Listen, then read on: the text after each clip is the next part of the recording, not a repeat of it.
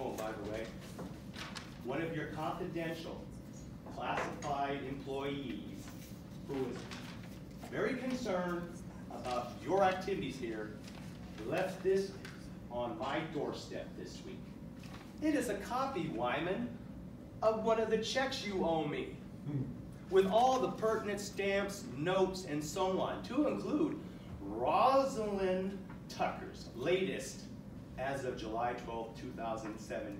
And we're still waiting for it. That's owed to and us. delivered with a post-it attached from a concerned, classified district employee. You got people writing on this third floor, providing me with all the evidence I need, folks. It's not done.